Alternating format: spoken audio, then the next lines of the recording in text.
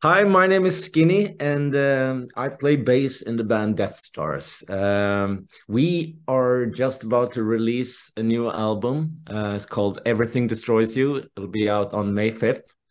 And for us, uh, this album is it just feels like a, the perfect continuation of uh, maybe the previous albums like uh, Termination Bliss and or Night Electric Night rather than the latest album Perfect Cult it, it's more outgoing, I'd say, uh, and more more of a party al album. So, and it, it, got just where we wanted it to go.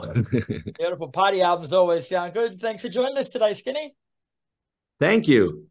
No worries. And also, as you say, Deathstars will release your fifth album, Everything Destroys You, this Friday, May the 5th. So, how, how are you feeling about it, mate? Well, it, feels great. Um, it, has been a while. Uh, we usually have about five years in between albums, but this time we we we, we stretched it for another eight years. So, uh, but you know, the in in the end, for us, what matters is that we're happy about the album. You know, we, we could have released it before the pandemic, but then uh, you know we wouldn't be as happy with the songs. Uh, so we decided that okay, we we'll wait a little bit and then we had the pandemic and we got some extra free time to just work on the songs even more and and that turned out great i think. Yeah. So tell us more about the album from a musical point of view and what you're going for with it. Yeah well it, there's no surprise. It's still Deathstars. It's you're always going to hear it's Deathstars because we have Whiplasher's vocals and the nightmares kind of trademarked uh, uh, writing on the on the keyboards. Um, but we try to stretch it further and take every every aspect further you know as you do you want to evolve. So i would say the heavier songs are much heavier the faster songs are faster and uh, yeah i think the nightmare has kind of uh, outdid himself with songs like we have an, a track called uh, an atomic prayer. It's almost like progressive rock because it has a middle part that never you never know where it's going to end up you know? I, I, think he really pushed himself to the limit. Um, and yeah amazing. I i listen to the album. Usually i don't listen to our own music. I listen to the album because i like the song so oh, and that i think that that's a, something. Yeah so when you, when you talk about evolving with your music over, over each album, mate, like how does that process work? Like, do you sit down and, and do you write with something specific in mind? Do you experiment with a lot of stuff and throw a lot of stuff out? Like, how, how does that evolution actually come about? It's a lot by chance, but this album was a lot that we wanted to try out new elements and, and new sounds. You know, we, uh, since we use in incorporate like synthesizers and stuff like that, it's quite easy to to change the dynamic with with the use of synthesizers. Uh, but then again you know it's always what's best for the song. Maybe we have more like guitar melodies on on this album. Usually we've said that like no solos because it, this should never be like one you know you, you shouldn't be there ahead of anyone else. It's it's all about the the greater good for this of the song. Uh, and and it still is but this time we maybe changed a little bit with the instrumentation. I get to do a lot more on the bass as well. Sorry. Oh well, there you go. You've got to love that part. Yeah. so far, you've released your singles "Angel of Fortune and Crime," "Midnight Party," and "This Is." So, are they a good sonic representation of the album as a whole? I would, I would say so because it's yeah, they're they're quite different from one another. Uh, and that's how we wanted to pick them. First, we wanted to release "This Is," uh, which is kind of a banger.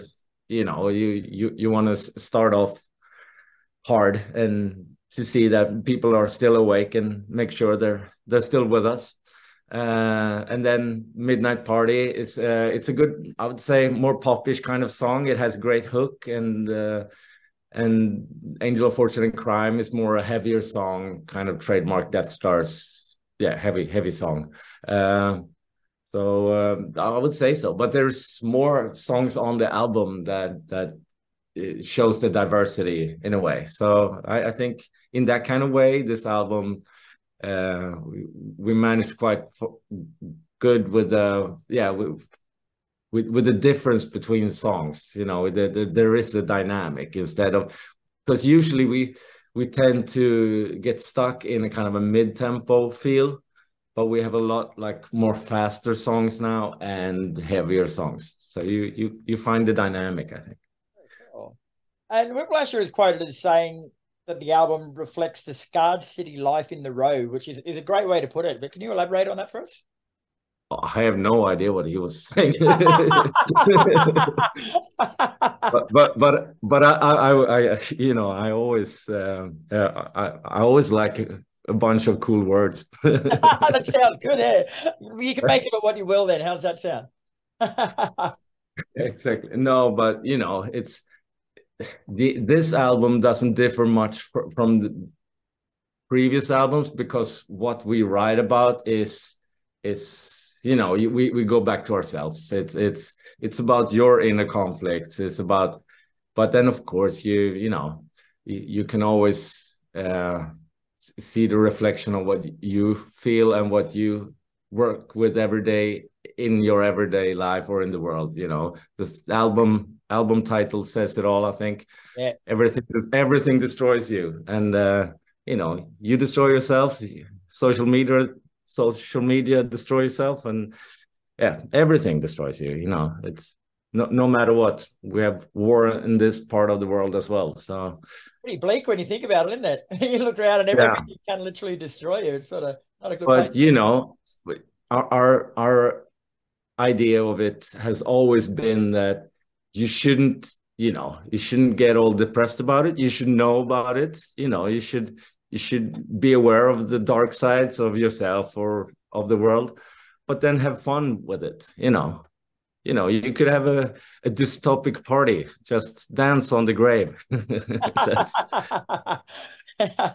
You mentioned that it, has been like eight years since your last album came about so does it feel like a, a new chapter in effect sort of coming back after eight years or is it just a continuation of before yeah, well, a new album is always a new chapter, I would say. Uh, it feels different, definitely, because a lot has happened in our personal lives since the last album.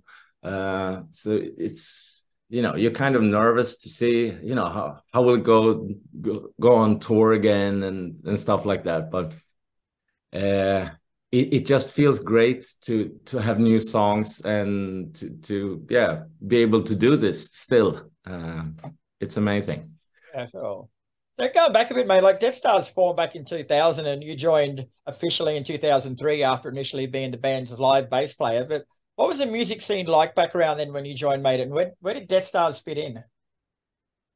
Uh, well back then it was a new band. And you know for most new bands you always get to be compared to other bands. Uh, so i think a lot of focus ended up on doing that. These days you know since we've been around for 20 years yeah you know people know what we are and what, what we've been doing. And of course a lot have changed. You know people used to buy records back then. It's it's even you know there's a big change and it's still now it's changing so fast you know. One year you should have do a song that is one minute long tops because it should fit the tiktok format you know.